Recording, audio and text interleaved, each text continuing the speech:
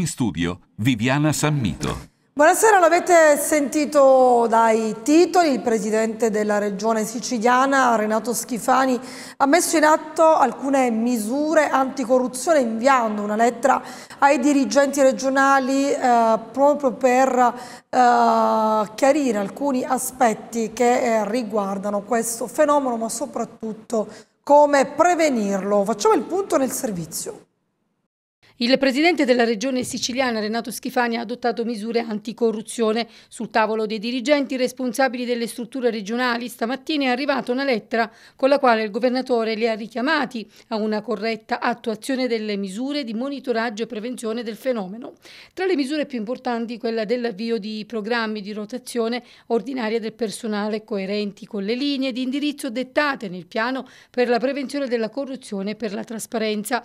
Priorità dovrà essere data a chi chi responsabile dei procedimenti nelle aree a più elevato rischio di corruttela e a chi è addetto ai contatti con il pubblico. Il presidente Schifani inoltre ha sottolineato il dovere, in capo ai dirigenti, di disporre con provvedimento motivato la rotazione straordinaria del personale nel caso di avvio di procedimenti penali o disciplinari per condotte di natura corruttiva. Sono misure volte anche alla tutela dell'imparzialità. Il presidente è stato chiaro, la misura va applicata appena si venga a conoscenza dell'avvio di un procedimento penale, invitando i dirigenti a raccomandare ai propri impiegati l'osservanza dell'obbligo di comunicare al datore di lavoro di essere sottoposto a indagine penale. La vigilanza sulla prevenzione della corruzione costituisce una priorità del nuovo governo regionale, ha detto Schifani, esortando i dirigenti ad una fattiva collaborazione per una rigorosa attuazione della misura. Parliamo adesso di un'operazione antimafia, andiamo a Catania con il sequestro ai fini della confisca di beni immobili ed imprese per il, un valore di 2 milioni e mezzo di euro riconducibili a esponenti apicali del clan Cappello, il patrimonio riconducibile a Giuseppe Salvatore Lombardo e al figlio Salvuccio Junior. Ennesimo colpo inferto al clan Cappello dalla Polizia di Stato della Questura di Catania, sequestrati ai fini della confisca per complessivi 2 milioni e mezzo di euro, patrimoni illecitamente acquistati dagli appartenenti al clan, in particolare due persone ritenute dagli inquirenti socialmente pericolosi, Giuseppe Salvatore Lombardo di 55 anni e il figlio Salvuccio Junior di 28 anni, esponenti di spicco del clan Cappello, legati da diretti rapporti di parentela con il il capostipite Salvatore Cappello. L'operazione ha dunque riguardato cinque immobili a Catania, un maneggio abusivo, sette rapporti finanziari intestati ai loro conviventi, due imprese individuali commerciali nel settore della torrefazione e nel commercio del caffè ed una nel settore dei fiori, quest'ultima gestita dalla famiglia Lombardo. Le indagini condotte dalla squadra mobile, dalla divisione anticrimine e coordinate dalla Procura di Catania hanno permesso di verificare le posizioni economiche dei due, permettendo anche di individuare cespiti patrimoniali e attività commerciali intestati fittiziamente, acquisiti attraverso il reimpiego di denaro proveniente dalle loro attività illecite. Le indagini hanno consentito anche di sequestrare per la prima volta un'impresa di fiori operante nell'area antistante il cimitero di Catania e ha permesso di riscontrare le infiltrazioni della criminalità criminalità organizzata catanese, in questo evidenziando l'interesse del sodalizio a mantenere il controllo di determinate attività commerciali, acquisendo autorizzazioni e concessioni amministrative intestate anche a terzi. E di questa operazione ne ha parlato il dirigente della divisione anticrimine.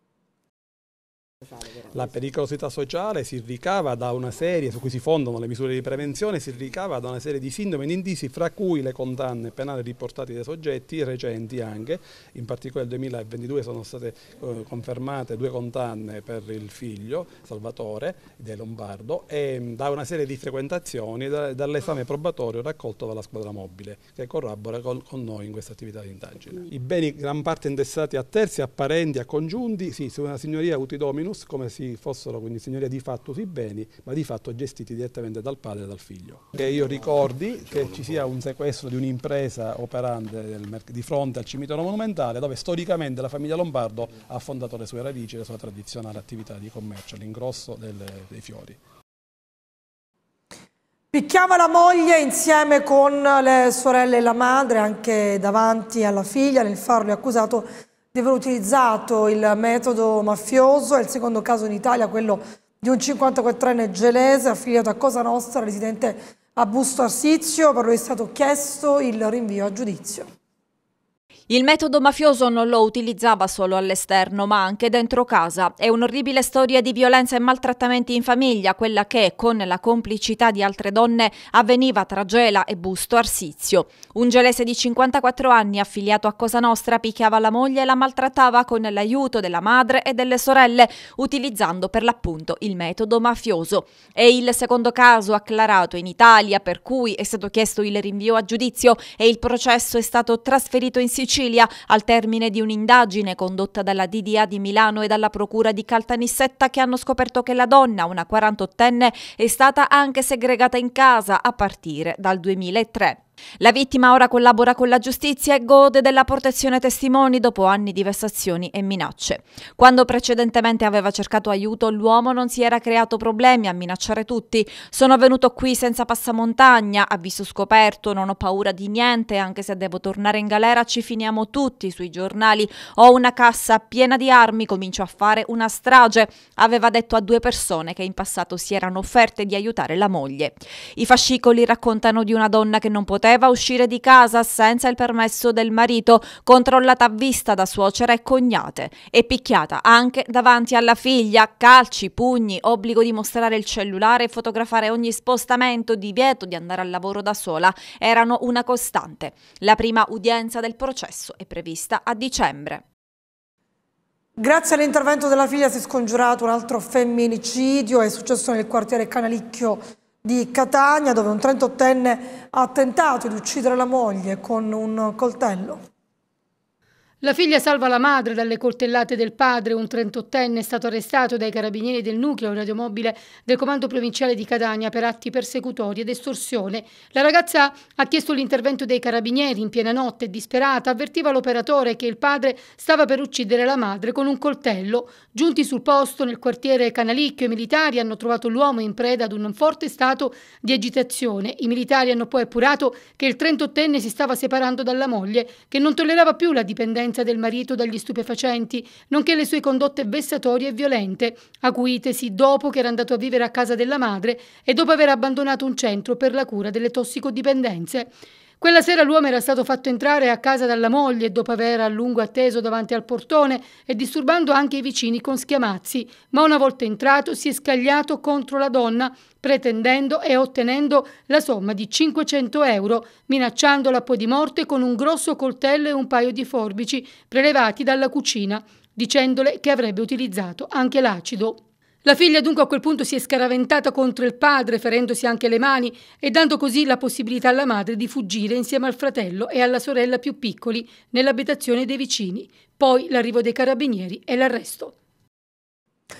Torniamo a parlare dell'omicidio del cardiologo di Favara, eh, Gaetano Alaimo, il 47enne che gli ha sparato, ha ammesso le sue responsabilità e accusato di omicidio premeditato e anche di porto abusivo di arma da sparo clandestina. Il legale che lo assiste fa sapere che da anni l'uomo è in cura da uno psichiatra.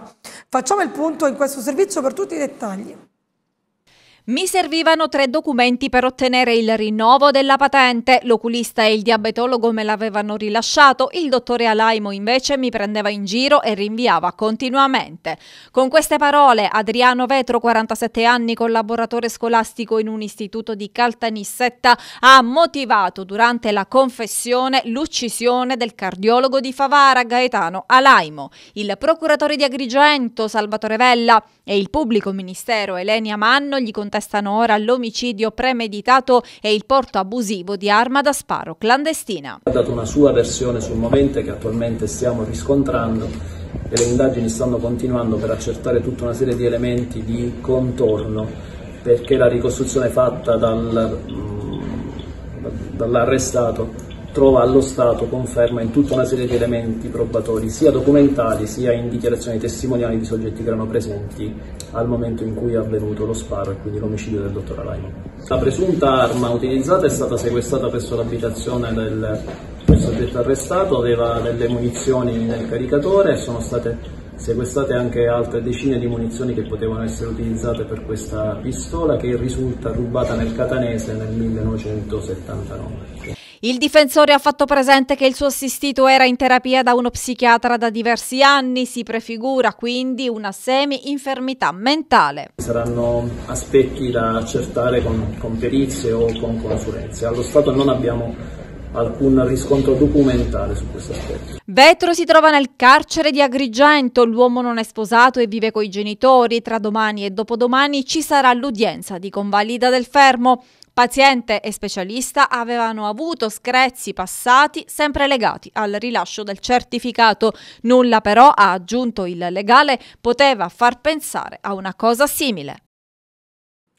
Oggi è il tempo del dolore, della vicinanza alla famiglia, del collega, della solidarietà all'ordine dei medici di Agrigento, ma anche il momento ancora una volta di chiedere piena applicazione della legge più sicurezza ai medici, lo ha detto il Presidente della Federazione Nazionale dell'Ordine dei Medici e degli Odontoiatri Filippo Anelli. Non bastano le parole per condannare un gesto così brutale. Oggi noi piangiamo un altro collega concluso caduto per mano di un suo paziente.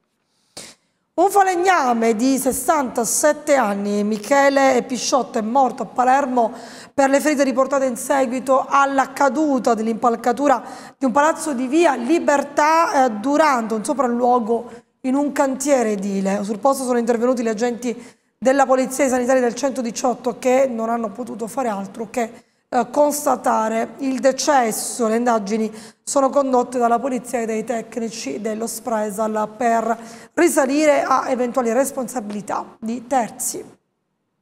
Adesso vi raccontiamo una storia a lieto fine che arriva da Avola dove domenica scorsa a causa di un blackout dovuto al maltempo un 22enne costretto a letto dalla sindrome di San Filippo ha rischiato di morire. La famiglia a questo punto ha chiesto aiuto alla polizia che è intervenuta immediatamente. La storia dei, nel servizio di Valentina Frasca. Giuseppe è un 22enne di Avola affetto dalla sindrome di San Filippo, una malattia genetica rara che in tutta Italia colpisce appena 50 persone e che inizia a manifestarsi nei primi anni di vita, causando danni irreparabili al cervello fino a costringere a letto chi ne soffre. Al momento non esiste una cura e la vita di Giuseppe, che ha ormai perso ogni funzione motoria, da tre anni dipende dai macchinari elettromedicali e dalle cure amorevoli della famiglia. Domenica scorsa, a causa del maltempo, un blackout lungo 13 ore ha tolto l'alimentazione a questi macchinari e mamma Daniela, ormai nel panico, ha cercato aiuto nella Polizia di Stato, trovando non uomini in divisa ma angeli custodi. Alle sei e mezza del mattino è andata via la corrente elettrica, ma abbiamo aspettato, abbiamo temporeggiato perché pensavamo che nel giro di qualche oretta sarebbe ritornata. Invece si fanno le 18 eravamo ancora non al buio perché abbiamo il um, gruppo elettrogeno, proprio perché avendo Giuseppe in queste condizioni che ha bisogno di macchinari elettromedicali, ci siamo forniti appunto di un gruppo elettrogeno solo che eh, era in funzione da quasi 12 ore, chiamato il numero verde dell'Enel, era sempre occupato, ho pensato di chiamare il commissariato di, di polizia di Avola e mi hanno dato due numeri, uno di questo ha risposto, nel giro di 20 minuti la luce è tornata, non, il commissariato e il poliziotto con cui ho parlato mi ha tempestato di telefonate per sapere se tutto era andato bene, che loro sarebbero state a nostra completa disposizione nel caso in cui avessimo avuto ancora bisogno e, mm, e, io li voglio solamente ringraziare per quello che hanno fatto. Se la corrente elettrica non fosse tornata, Giuseppe sarebbe morto. Per questo la famiglia Ruiz ha richiamato in commissariato per ringraziare e gli agenti ieri pomeriggio si sono recati personalmente da Giuseppe per conoscerlo. Del resto il motto della polizia è semplice, esserci sempre. Credo che l'attività della Polizia di Stato si basi su due concetti fondamentali. Il primo è quello del servizio pubblico, in quanto offriamo un servizio ad ogni cittadino senza alcun tipo di distinzione. E il secondo è il concetto di pubblica sicurezza. Infatti il fine ultimo dell'attività di Polizia di Stato è proprio garantire la securitas ad ogni membro della comunità che ci viene affidata. Noi siamo prima persone e come persone ci interfacciamo con i cittadini. E poi abbiamo anche la responsabilità di rappresentare lo Stato. Per informazioni sulla sindrome di San Filippo e per sostenere la ricerca, visitare il sito www.sanfilippofighters.org. Una 55enne di Roma è stata arrestata dalla polizia giudiziaria a Catania. Si fingeva curatrice eh, di malati vulnerabili affetti da patologie, ma uh, tramite una sostanza stupefacente con altissimo potere allucinogeno. È stata arrestata per detenzione ai fini di sostanza stupefacente. Guariva le persone vulnerabili affette da diverse patologie, somministrando loro l'ayahuasca, letteralmente liana degli spiriti o liana dei morti, una sostanza stupefacente con altissimo potere allucinogeno. È stata arrestata in flagranza di reato una donna di Roma di 55 anni, considerata uno dei capi di una rete di curanderi. L'indagata aveva una stanza allestita adibita all'esecuzione dei rituali a seguito dei quali veniva somministrata l'ayahuasca. ayahuasca uh, Durante la perquisizione gli agenti hanno sequestrato ingenti quantitativi di dimetiltriptamina che crea effetti già a basse quantità, tanto da essere stata recentemente inserita dal Ministero della Salute nella tabella 1 sulla disciplina di stupefacenti e sostanze psicotrope. Rinvenuta anche marijuana di funghetti al vaglio della polizia scientifica per risalire al tipo di principio attivo e 1055 euro provento delle attività illecite. La 55enne è stata condotta in carcere. Avevano rapinato un'anziana donna, sono state arrestate madre e figlia. Ce ne parla Marco Scavino. Hanno 47 e 26 anni, madre e figlia, rintracciate a Noto dopo aver derubato un'anziana donna ad Alcamo in provincia di Trapani. La scoperta è dei carabinieri che hanno ricostruito il caso. A fine ottobre, mentre la donna si stava recando a piedi a messa, viene fermata dalle due donne, dicendo che erano amiche della figlia e che erano lì per aiutarla nelle faccende domestiche. Avrebbero poi detto di essere però anche facenti parte e incaricate dal comune per verificare le sue condizioni condizioni di salute. A questo punto dicono alla donna che ha le mani gonfie e che c'è uno spray per aiutarla, il tutto per sfilarle gli anelli. Monili che vengono messi in un cassetto affinché l'anziana potesse poi recuperarli dopo che lo spray avesse fatto effetto. Le due donne così lasciano l'abitazione. Solo a quel punto l'83enne si accorge di essere stata derubata non solo degli anelli, ma anche della somma contante di 400 euro prelevati dalle donne in un momento di distrazione. I controlli del territorio portati avanti dai carabinieri hanno però consentito con prontezza di risalire all'identità delle presunte malfattrici. Sono state rintracciate a noto e adesso restano a disposizione dell'autorità giudiziaria. Sono agli arresti domiciliari.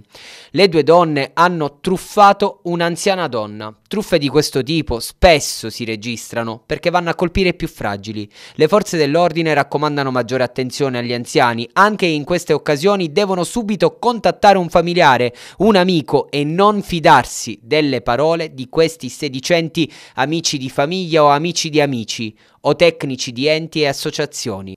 Se, come in questo caso, si dovesse apprendere a posteriori di essere stati truffati, si deve subito contattare il numero unico per le emergenze, il 112, proprio per avviare subito le indagini e rintracciare i malfattori. Si sono cimentati nella traduzione in latino di Alba Chiara di Vasco Rossi e, e suscitando ovviamente l'interesse dei social attirando anche l'attenzione della rockstar Vasco Rossi. Sono i ragazzi del liceo classico Eschilo di Gela che questa mattina sono stati eh, ricevuti dal sindaco che ha, ha, consegnato anche gli attestati di merito. Eh, sentiamo Veronica Puglisi.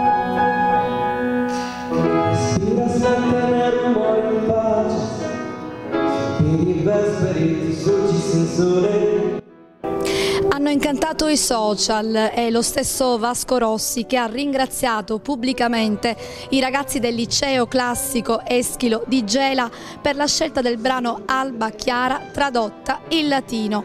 Una scelta innovativa nata alla fine dell'estate dall'idea di due insegnanti per accogliere gli studenti delle prime classi. E l'abbiamo scelta proprio perché c'è un contrasto enorme con quella che invece è la voglia di apparire dei ragazzi di oggi, delle ragazzine di oggi. E abbiamo voluto dare questo eh, esempio eh, dei valori che purtroppo stanno un po' andando via.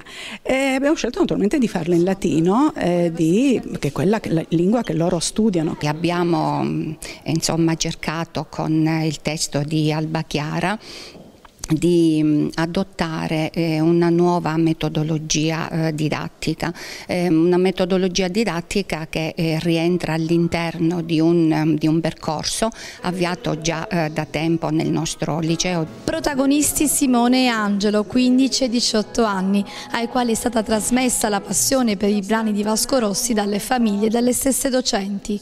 Essendo una canzone basata principalmente sulla scuola, dato che noi l'abbiamo utilizzata per accogliere appunto questi nuovi giovani e, portarli a noi per eh, fondere insieme l'importanza di andare a scuola come questa ragazza, eh, ma anche l'importanza di una lingua come quella antica del latino. Eh, sicuramente sono felicissimo per il risultato, sono felicissimo che sia arrivato a Basco e eh, sicuramente è una bellissima emozione stare fra i, fra i suoi post di Instagram o nelle, nelle sue parole. Un importante connubio tra la musica e la lingua latina. Dà anche l'idea di come il liceo classico sia ancora una scuola assolutamente attuale perché è la scuola che promuove la formazione a 360 gradi, che valorizza i talenti, i talenti dei giovani e credo che questo, esperimento, questo esperimento, didattico testimoni, testimoni proprio questo. E proprio questa mattina il sindaco di Gela, Lucio Greco, ha consegnato degli attestati di merito agli studenti e alle insegnanti. Convinti come siamo che intanto le due agenzie educative eh, più importanti nella vita che sono eh, le famiglie e la scuola eh, formano ed educano questi ragazzi e poi eh, si registrano questi risultati eccellenti.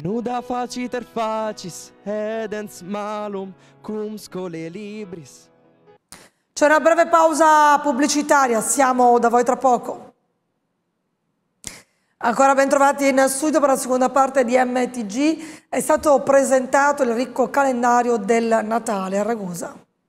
Da Ragusa Centro a Ragusa Ibla, passando per San Giacomo, sino ad arrivare a Marina di Ragusa, tutto il territorio sarà coinvolto per un mese intero, dall'8 dicembre all'8 gennaio, dal clima natalizio con tanti eventi ed iniziative promosse dal comune di Ragusa. Verrà infatti ricostruito un autentico paese siciliano dell'Ottocento a Cava Gonfalone per il presepe vivente, ma poi ci saranno anche i mercatini di Natale, il villaggio del gusto. I nostri partner eh, Slow Food Sicilia perché sono stati i promotori di questa idea che abbiamo condiviso con il commissario Piazza, che è quella di creare un villaggio del gusto per la valorizzazione e la commercializzazione dei nostri, in particolare dei nostri prodotti agroalimentari alimentari di eccellenza, ma eh, trattandosi poi di un mercato natalizio abbiamo deciso di includere anche un po' di florovivaismo e anche qualche prodotto dell'artigianato artistico. Ad Ibla tornerà la casa di Babbo Natale e il Bosco Incantato per un Natale ancora più ricco con il concorso Cunti d'Arte,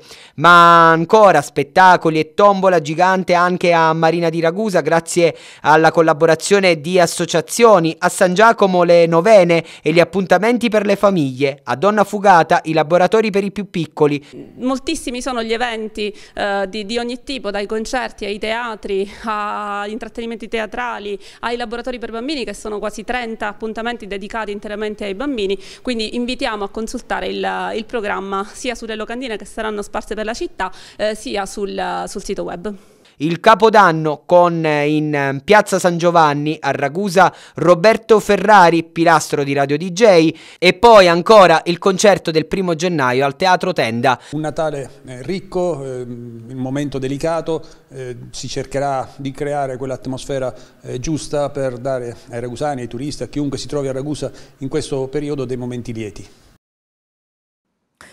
Domani è la giornata mondiale della lotta all'AIDS, tanti gli appuntamenti, questa mattina tanti gli spunti uh, di riflessione e di interesse attorno a un convegno che si è svolto al liceo Galilei Campailla di Modica. Al via la campagna di sensibilizzazione sulle malattie sessualmente trasmissibili. L'occasione di domani, con la giornata mondiale della lotta all'AIDS, dà l'opportunità di parlare delle altre malattie che, in silenzio, distruggono la vita di chi le contrae. Sono diversi gli appuntamenti in tutta la regione e tante strutture sanitarie stanno promuovendo screening gratuiti. Già oggi un incontro per rendere consapevoli i ragazzi sui rischi che possono correre vivendo una vita sessuale non sicura. Un'occasione importante importante quella offerta agli studenti del Galilei Campailla di Modica. L'AIDS fa registrare ancora numeri importanti. A ribadirlo anche il presidente della SIMIT, la Società Italiana Malattie Infettive Tropicali della Sicilia, Antonio Davì, che oggi ha raggiunto il liceo scientifico di Modica. Quest'anno 1300 casi, in Sicilia circa 93 casi, ma anche le malattie sessualmente trasmesse sono lievemente in aumento. Pensate che alla conorrea i casi sono raddoppiati, così come anche i casi di clamidia, soprattutto fra i giovani, fra i 15 e i 24 anni. Siamo qui per fare informazione, per fare formazione, per educare eh, alla prevenzione, per rivedere i comportamenti a rischio. Una giornata di riflessione che è rivolta soprattutto ai giovani, dove infatti la maggiore incidenza, se consideriamo l'AIDS, è fra i 25 e i 29 anni. La giornata di domani però pone i riflettori anche sugli screening. Interesserà tutti i servizi dell'ASP, i consultori, i dipartimenti, le, mm, eh, le, UOC di malattie infettive anche di Ragusa, con un'attenzione agli immigrati e agli omosessuali, quindi alla comunità eh, e a, con diversa identità di genere. Un'occasione importante che crea consapevolezza tra i nostri studenti, ha commentato il dirigente scolastico dell'Istituto Galilei Campailla di Modica, Sergio Carruba. Galilei Campailla, come sempre, attento a tutte eh, le necessità dei nostri ragazzi, cerca di formare nel migliore dei modi possibili i cittadini del domani. E adesso parliamo di disabilità con un appuntamento informativo sulla comunicazione organizzato dal Consorzio Ticino di Riabilitazione insieme con l'AIAS di Acireale. Un incontro informativo rivolto a insegnanti di sostegno e curriculari, ASACOM, terapisti della riabilitazione e ancora personale sanitario e a tutti coloro che intendano approcciarsi alla comunicazione aumentativa alternativa. È quello che si è svolto presso la sede del CSR a Via Grande, organizzato dal CSR e dall'AIAS di Acireale con il patrocinio dell'ASP di Catania e della ISAC Italy, oltre all'Ordine dei terapisti della riabilitazione di Catania con la collaborazione dell'ONLUS Comunicare e Vita.